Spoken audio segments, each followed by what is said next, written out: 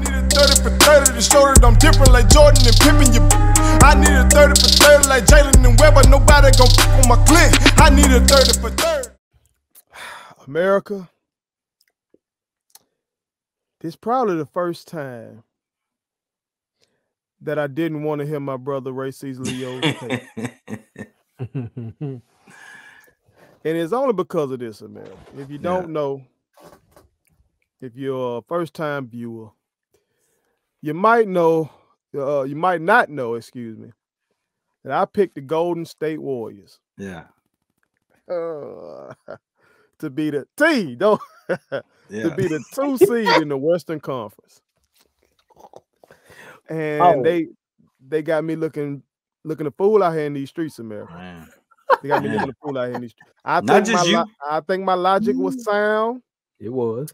But uh, I'm gonna let my brother go ahead and, and talk to y'all about what he's seen from the former dynasty that was the yeah. Golden State Warriors particularly and, Draymond Green and Steph Curry. Yeah, and, and, and you know, for the record, it's not just you.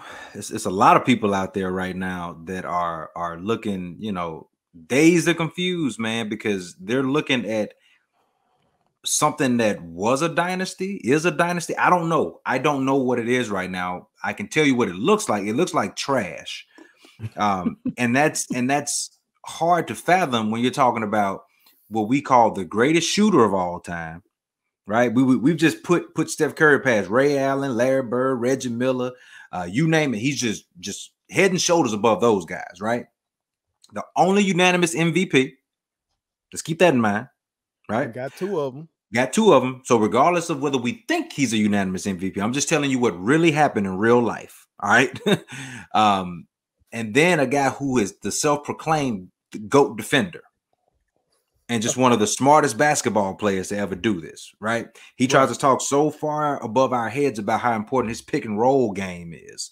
Um, and, and, and listen, I'm a I'm a fan of Draymond Green in, in, a sense where I look at him a little bit differently than he looks at himself because Draymond puts himself at a level where he doesn't really live. Um, if Draymond would would if Draymond would put himself in a box where he belongs, then I'd be his greatest defender to be like, man, y'all don't understand the value of his game because I understand what basketball IQ means, and he has that. But here's what's happened.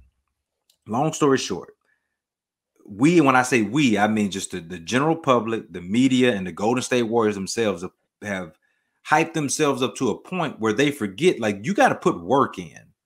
You can't just step on the court because of what you've done in, in years past, people lay down. There is no way that the greatest shooter of all time, a two-time MVP, and one of the better defenders to ever play our game, one of the smarter basketball players to ever play our game, should be 10th in the West.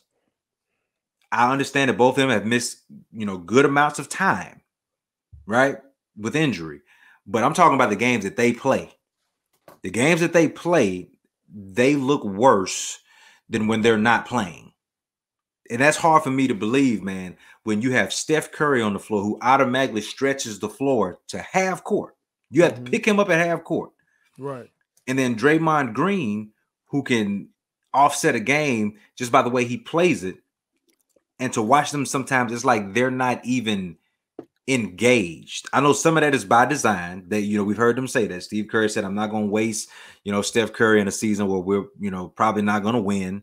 Um, but at what point does a two-time MVP and a guy that considers himself a dog like Draymond Green, when is it like, man, I'm not gonna step on the court and give a half-ass performance? Like at some point, it's gonna be, I'm not gonna let teams come out and just night after night disrespect me. The Golden State Warriors, I think, have lost eight games in a row, seven games in a row.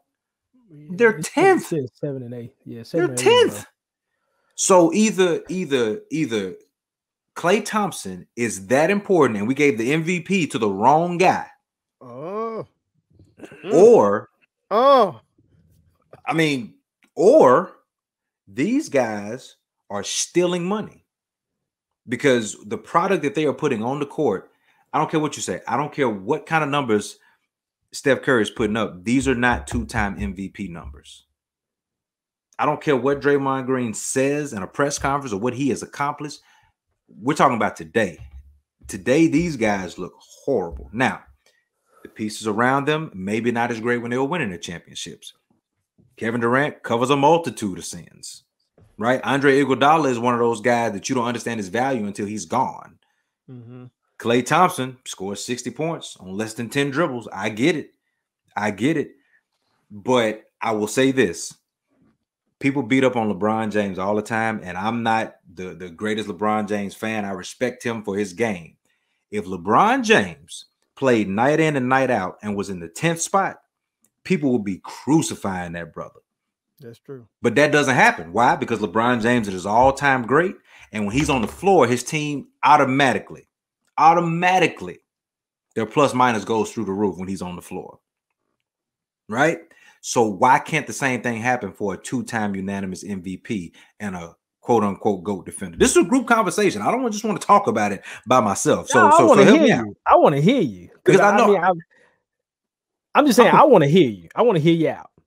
I'm confused. I, I, I'm I confused. do I do not think it is really and truly uh on Steph and Draymond. I don't. I think the uh in the words of uh Dave Chappelle on the Rick James skit, the milk gone bad. The milk's gone bad. I'm just telling you, the It's milk's gone bad. man. The milk's gone Yeah. bad, man. Look, I look So at guys So, like so you just say you just say that their, their time in the sun is up. it's it's the, the milk's gone bad. Like Okay. because okay, like they were talking about. I mean, like right now they've got like a hundred million dollars in contracts amongst the big three. Yep. They paying Andrew Wiggins stupid money too. There's a lot of money tied up in guys, and we all know. Let, us just be honest. I'm I'm I'm gonna I'm gonna just put it on wax. You know what? That's because because that's what we do. Yeah. Andrew Wiggins is the most disappointing prospect I've ever seen in my career of watching basketball. And from the we're talking from the slam era, high school. I'm gonna say it. I'm gonna say it. I'm gonna say it, and they can say what they want to say. Andrew Wiggins is the most disappointing talent I have seen He is a in my time from understanding from from looking at from my slam the slam magazine yeah. the rookies they you know the, the, the high school boys they used to give us and look we went to school where a guy i ain't gonna say his name but he was a five star he played for our university right. and we saw this man in the magazines years ago by the name Rashad Carew. You know who I'm talking about, Rashad Carew. He was I in the book. He, he was a five star. He was a four five star man. Dude was the truth. Hmm. So, but but what I'm saying is, Andrew Wiggins was a preseason All American as a freshman at Kansas. Preseason All American as a freshman. He was was he the number one pick?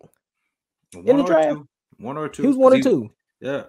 Okay, and then I think what LeBron said. No, Yeah, we gotta ship him out. I, I need Yeah, I need seasoned guys for this championship I run. don't need that guy. I don't need that guy. Jimmy Butler, the guy that does not, that never had an offer, had to go the hard route to get there. He looking Yeah. at Towns and Wiggins going, Hey, y'all had it way sweeter than me. Why am I nicer than y'all? Yeah. You know what I'm saying? So, but but I'm just saying though, I think I think the organization to me, the the the it is worn off. The magic's worn off. It's over. It's Yeah. over now.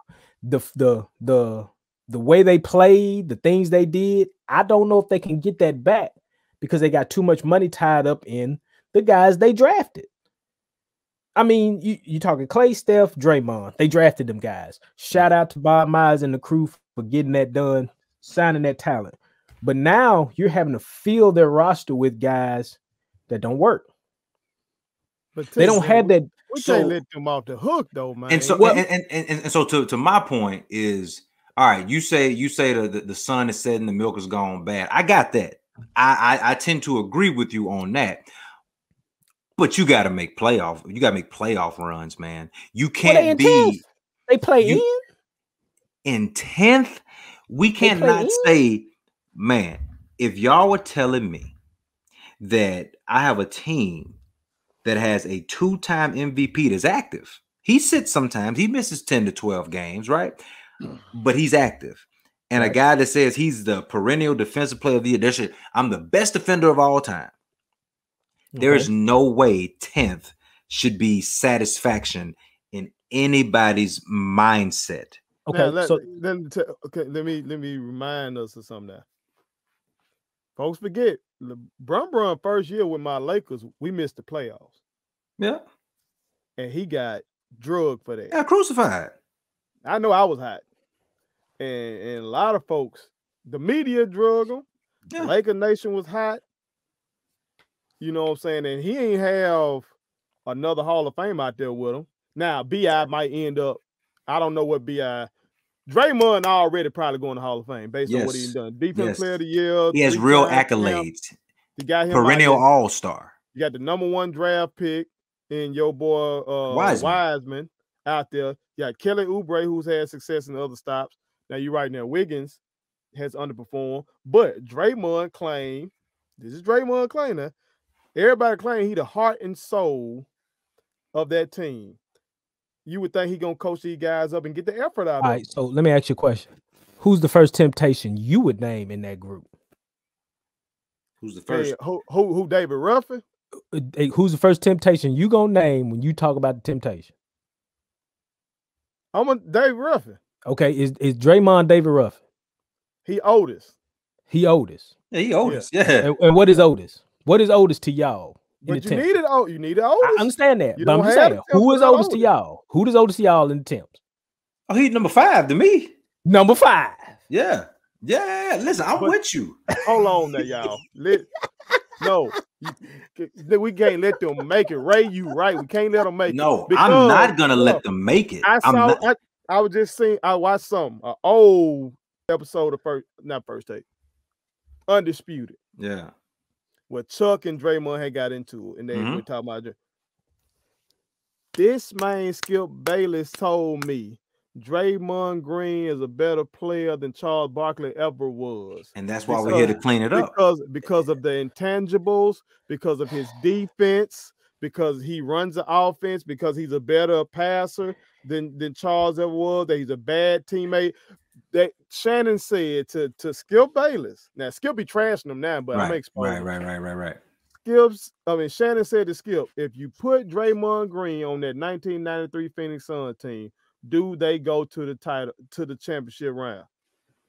And that man said yes. That's And why that's that's why we're here to clear it up though. That's why we're having this conversation because it's time for these things to be cleared up. Right? At the end of the day, what we have to understand is I, I do believe that this is a dynasty because they had a they had a three to four year run where they were right there. Every time they either won it or they were there. Right? They did some recruiting, but that's the league. So I'm, I'm, I'm not going to crush them for that. That's the league that we're in today. They they went and got a mercenary and Kevin Durant lit it up. It fell apart. Now they're out, right? I'm talking about the mainstays. The mainstays. Even when your your your better player and, and Klay Thompson goes down, I still have a two-time MVP. Right. I get that. I now I get that. still I still have a guy in Draymond that regardless of what he thinks of himself, because what he thinks of himself in reality is totally different. Like it's totally different. Draymond does think he's on the level of Charles Barkley. He's very disrespectful in that regard too, because Charles Barkley is one of the greatest players of all time. Okay, Charles Barkley, you can give him a team, and he will take you to the finals in his prime. But at the very least, he'll be you'll be a perennial playoff contender. Draymond showed his value when Klay and Steph were out, That's true. right? You can't, you can't, you cannot win with Draymond Green being your focal point. I love his game. I love his game. This is Ray Coleman saying, I, I love his game. I love the fact that he can be effective without the basketball, but that doesn't mean Ray Coleman thinks that he is the end all be all of the Golden State Warriors. But this is Right. what happens. You get a little success, you start thinking a little bit too much of yourself, and then you forget what the headline says. Stop talking and do work. Draymond Green has been talking before they won the championship, but definitely after they won a Can, championship. can I pull y'all coat on a statement he recently made? then? Please. He said, and I'm paraphrasing, of course, playing for a play-in game does not excite him. That does nothing to motivate him to go out there and win ball games right now. I- Playing so ba- he's just like basically we can't win the championship. I don't care about this season. What So that's another one- As as a, as a supposed leader. That's another one of those things that I don't know if it's a if it's a. First of all, how old is Draymond? Is Draymond thirty? Thirty. He's thirty. He's thirty. So it's one of those things. I don't know if it's a if it's a generational thing. I'm 36. Um, so I'm not that far ahead of Draymond, but I feel like it's I feel like there's a, a slight generational gap there to where sometimes, man, the fact of the matter is, brother, guys don't get fired up just to compete. I, I, we see that now. We see that yeah, the guys don't get juiced up to compete. If but I'm uh, the arrogance of it to say that in a press conference, we know guys like that in the league because they getting paid millions of dollars. Yeah. Whether they win or lose, they're gonna be good all in, anyway. But the arrogance of it to get in front of a mic and basically say, "I don't care nothing about this." There's some mics that there's some mics that don't need to go in front of people. He's one of them. He's he's one of them, man, because he thinks everything he says is next level. Um, I look at it like every night, and, and, and this is the difference. This is the difference. This is where you get into trouble when you start trying to compare Draymond Green to guys like Charles Barkley, Karl Malone, Kevin Garnett, Tim Duncan. Don't even put him in Larry Bird, Michael Jordan, Magic Johnson status those guys wanted to beat the guy in front of them every night because there was no way they wanted to walk off the court with you thinking, oh, I just took it to Larry Bird or I just gave Barkley the business. No, those guys wanted to do work, not just against the Ray Coleman's in the NBA, but they wanted to do it to each other. Karl Malone and, and Charles Barkley wanted to go head up. You see what I'm saying? So you don't see that with a guy like Draymond. Yeah, in the playoffs, he's ready. He's ready to go. He's I'll your guy. This. I'll say this. I think I think the Golden State Warriors, and again, I go back to the milk's gone bad. If this true that they that Golden State was gonna take LaMelo at two and didn't take him, yeah, they screwed up. Like they really screwed up. Because if if we're looking at the product that we're seeing now with LaMelo over there in Charlotte, and if that could have been a bigger help in a guard heavy league, yep, especially with Klay going down, to yeah. spell Steph. That's right. With Klay going down, I get it. He's not yeah. the defender Klay is. I get all that, sure, but sure.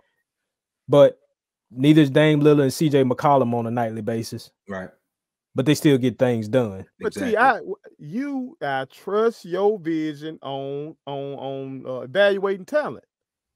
You know what I'm saying? You've yeah. been we watch countless games together. You my college roommate. We didn't watch countless games together. You be like, man, that dude nice. That dude end up being nice. Hmm? You said it. So some there, something is there with Wiseman. I think so. And I, and I still don't doubt that. So now I'm looking at so. what are they doing to get it out of him? I thought again another reason why America. I picked them to be the two seed because I was like, okay, yeah, they down Klay, but they still got still they got Draymond and they got the number. Did what? What was he? Number one or number two? Wiseman two. Wiseman number two number draft two. pick. Oh yeah. And, but but he gonna be able to get the tutelage from a guy like Draymond. That Ray Caesar, when you brought up Kevin Garnett, that what came because because Draymond think he Kevin Garnett. And he's not. Kevin Garnett was vocal, passionate, uh, uh headed defensively, and all that kind of stuff. And he gonna get the best out of it. He made that Boston Celtics team really play play deep in. And let's not KG forget KG made a sacrifice when he went to Boston and lessened himself offensively. It wasn't because he couldn't is because he he understood his his role and niche. He chose to be Draymond Green with the Boston Celtics. But before yeah. that, Kevin Garnett was a dog yeah. in Minnesota, yeah. right? He was the best player on his team, perennial All-Star MVP. Draymond can never say that about his career. Unless he is traded away from the Golden State Warriors, he will never be able to say he was the best player on his team. What about he will never because uh, it's like we focused on on on Draymond no, and, and I, what, I was I was about to, not, not being a two way guy. I was about to get to that when you said, um, you know, Dray- Draymond made the comment about that doesn't excite him. Last night, Sunday night, they lost to the Hawks, right? In my brain, I'm Steph Curry. I'm going up against Trae Young. I need to make Trae Young understand that you are diet Steph Curry, right? And oh. and it it shouldn't even be a question when the game is done that you're you're still not even close. And I think that Trae Young is a hell of a player, right? But at the end of the day, he should not feel comfortable on the court with Steph Curry when the game is over.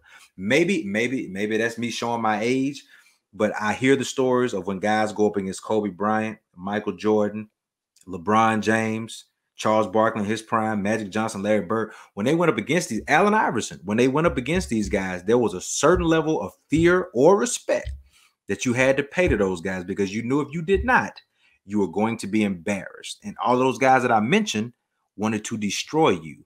Steph had 37 though.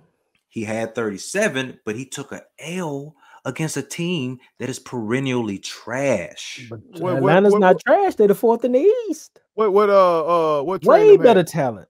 What trading them have? Trae didn't have but 13. How many assists he had? He didn't have but f- three assists. Guys, this is this is this is what I'm saying. Clint Capela un- had 24 and 18. I Something. understand that. You want to get that over there? yeah, I understand that. You want to get that over there? But T, let me ask you this: in your heart of hearts, right now, Wiseman can do that. in, in- in your heart of hearts, right now, the the Atlanta Hawks in the fourth seed in the East. I'm not going to say what I think about the fourth seed in the East. I'm just going to say, in your heart of hearts, right now, are the Atlanta Hawks a team that makes you say, "Oh man, I can't wait to see what they're going to do in the playoff. They're going to make a run. They're going to," or is I, it I can just say, I can I can say this much. They they intrigue me. They intrigue me to do what? because because they have enough. They have enough of everything that if Nate McMillan can make it work, I'm not saying they'll make the ECF. I do think though they'll be as tough of an out as you're gonna see in the playoffs. We, we've said the same thing about countless other teams. They have enough pieces, parts. They have enough guys that can score. They have enough bigs that can rebound. They have it all. Now, I'm not saying they Philly. I'm not saying they Brooklyn. Can't say that. But what I'm saying to you is, is that they are going to fucking they're going to compete. They're going to compete Now, just at all be thor- costs. just to be thorough now, because we still we we done a segment on this. It's still the Eastern Conference. No, that and Because- I, I didn't want to say it, but The, Haw- the Hawks are only 26 and 24. And, and, and what did the Golden State Warriors? Flip over to the West real quick, because that's the point that I'm trying Now, to make. now the Warriors are four games under 500, And what's their but uh, uh, they are 23 and 27. And in the West, the Grizzlies are the eighth seed, and they 24 and 23. it doesn't impress me. That's So, what I'm saying. It, it just the quality of work is is the same.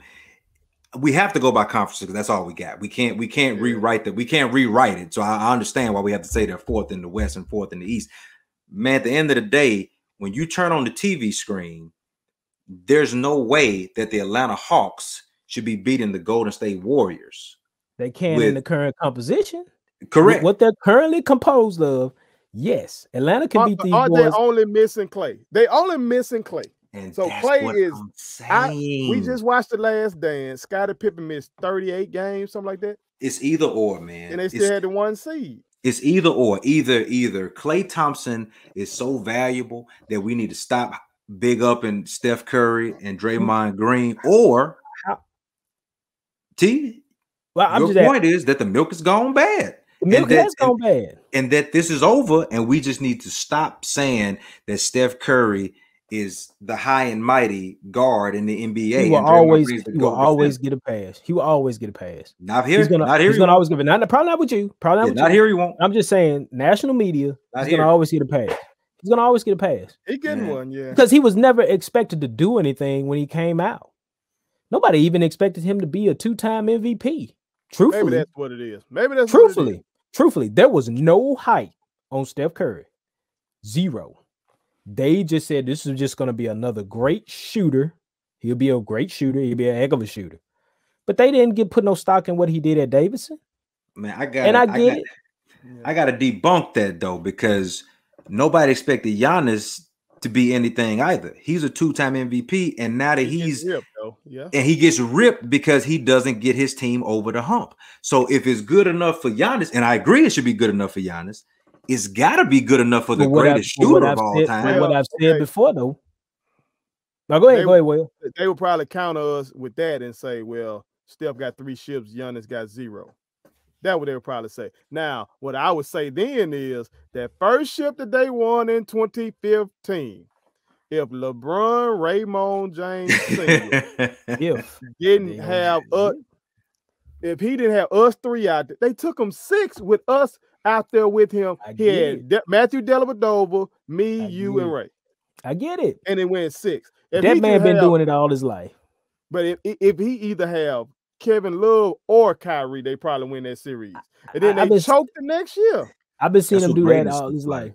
I've been That's seeing him do that all his life though. St. Vincent St. Mary's, he did the same thing. Yeah.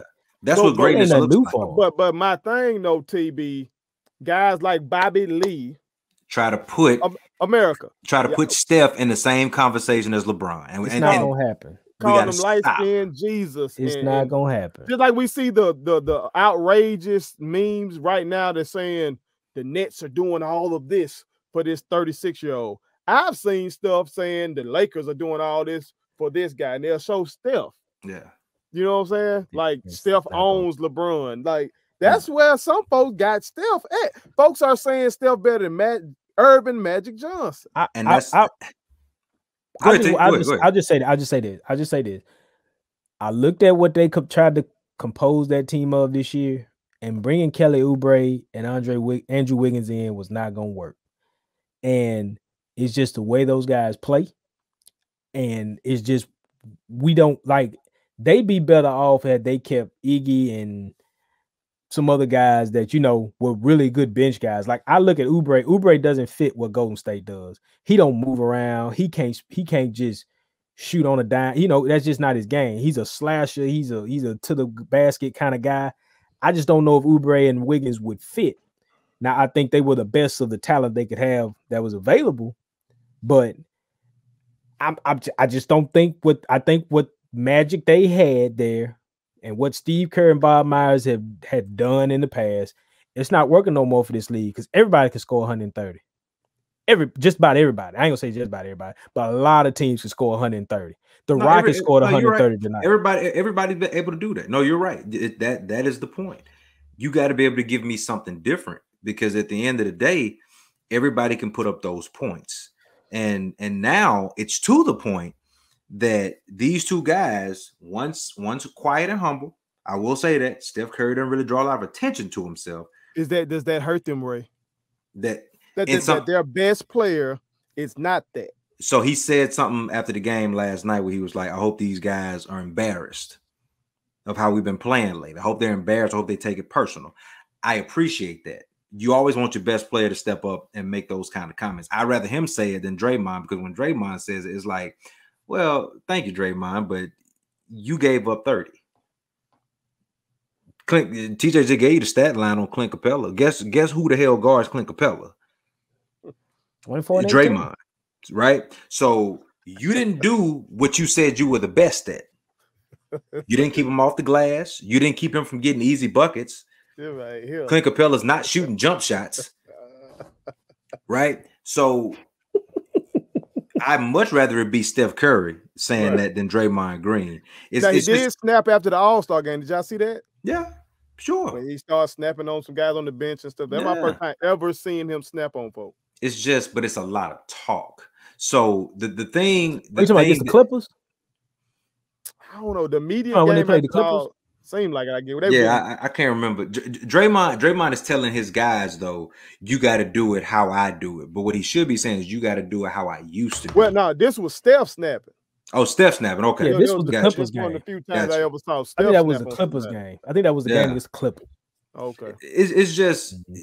you know the Steph and Draymond are living off a hype really from two three years ago. You know what I mean?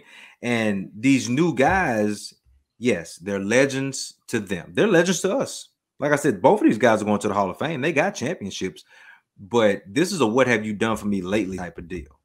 If it's good, I, I keep going back to the standard. The standard in the NBA today is LeBron James. If it's good enough for LeBron James to be criticized, and everybody underneath got to fall into that same premise, right?